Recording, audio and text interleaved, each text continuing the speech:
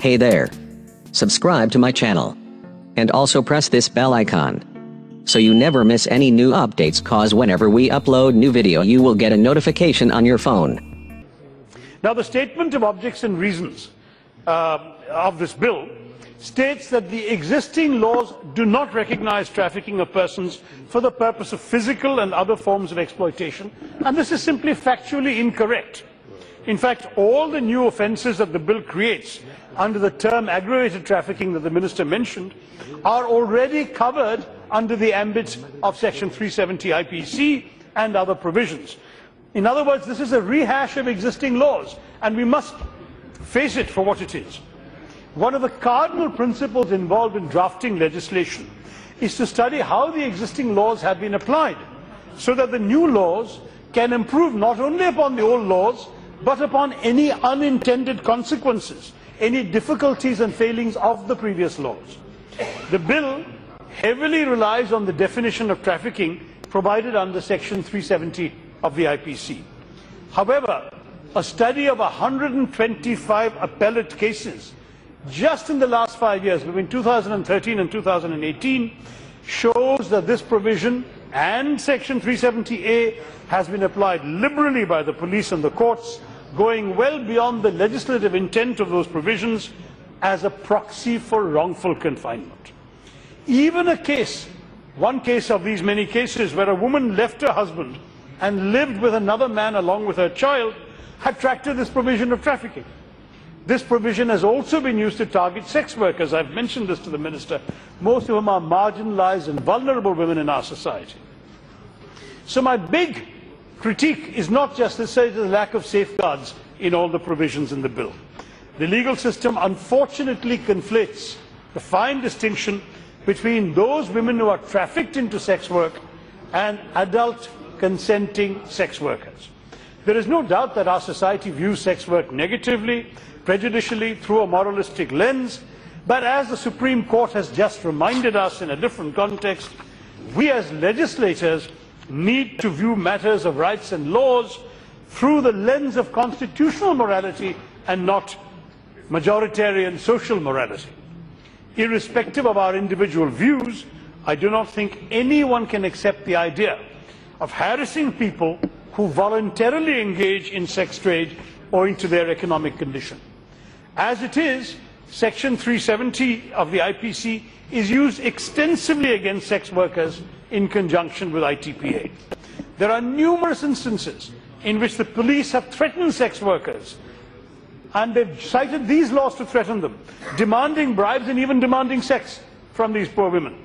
Unfortunately, this bill has no safeguards against such misuse. Let us keep in mind that the success of the HIV awareness programs, for example, if we want to ensure the success of those programs, if we want to root out trafficking in sex work, we need to cooperate with sex worker collectives. If we fail to place enough safeguards against misuse, the law will only drive them further underground and jeopardize our public health programs and the larger fight against trafficking.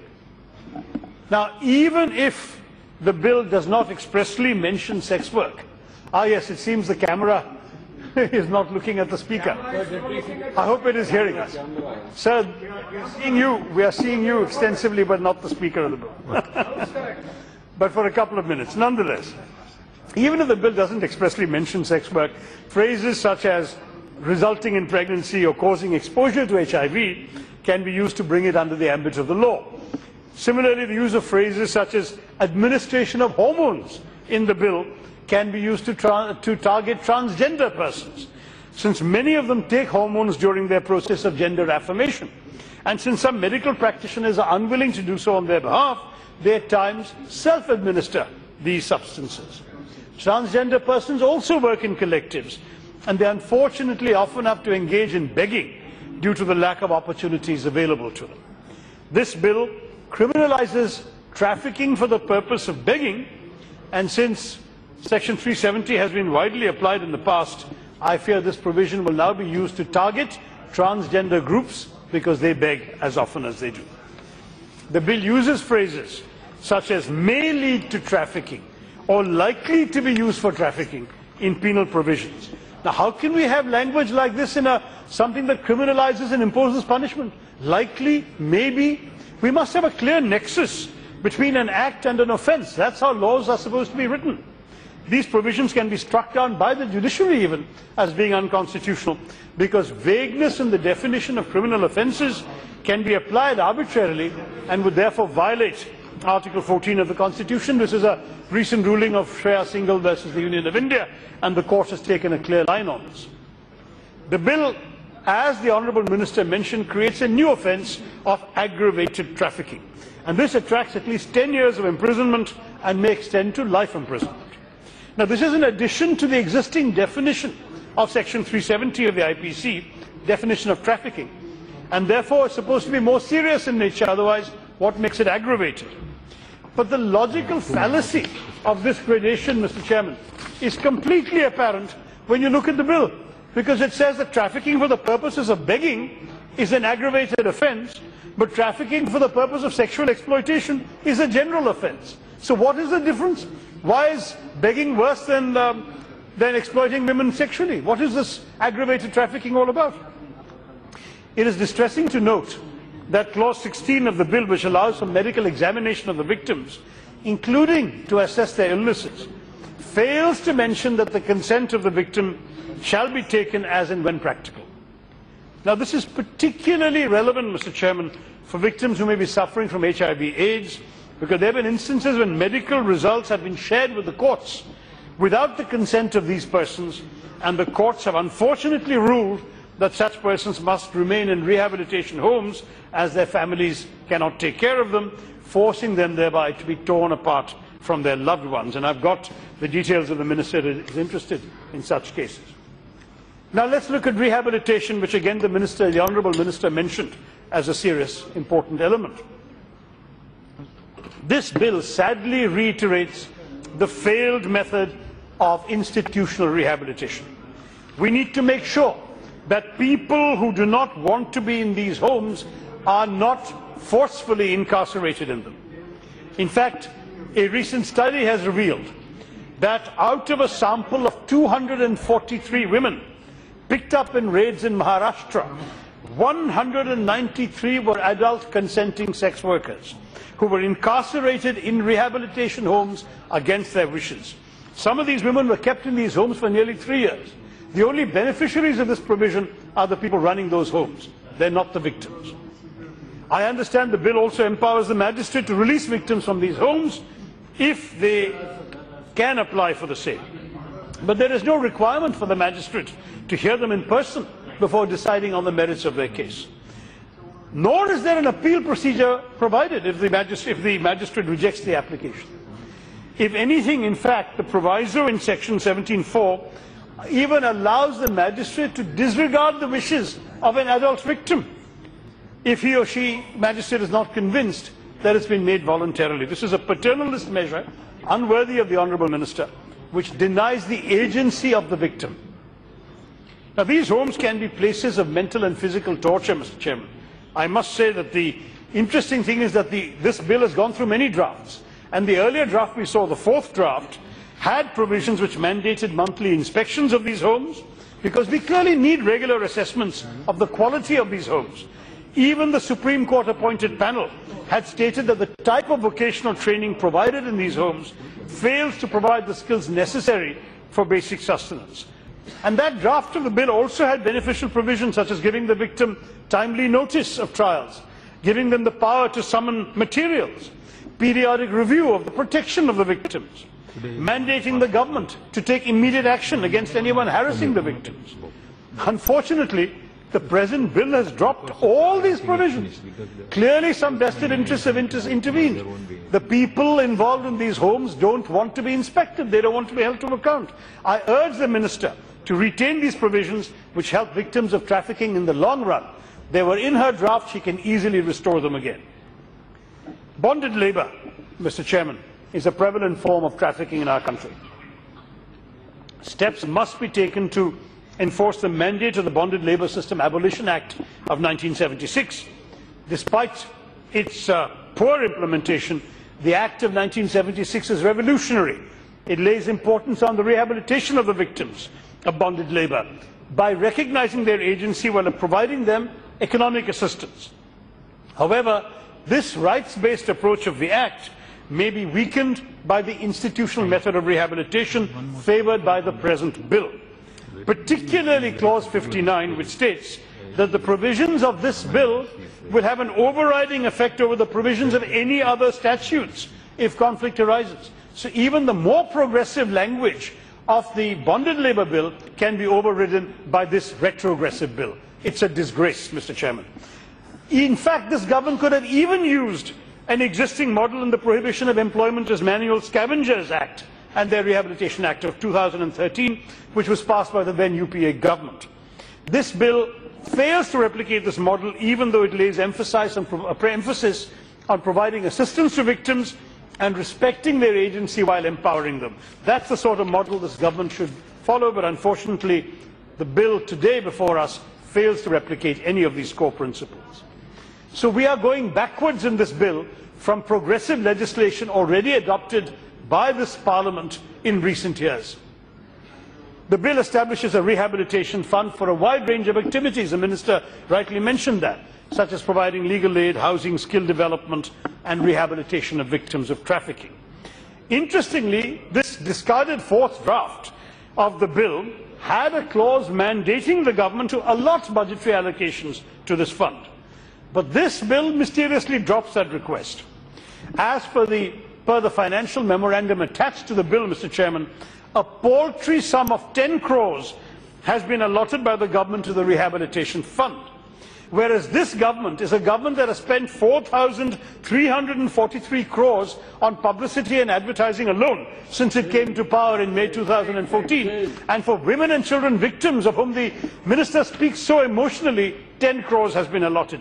In fact, 10 crores is the same amount given to one more bureaucratic institution, of which our country has too many namely the National Anti-Trafficking Bureau. And that amount goes up to 25 crores in the second and third year for the bureaucracy, whereas renewal of the rehabilitation fund is only assured on an as-needed basis. Let me say, Mr. Chairman, unambiguously to the Minister, this is a bill of the bureaucracy, drafted by the bureaucracy and for the bureaucracy.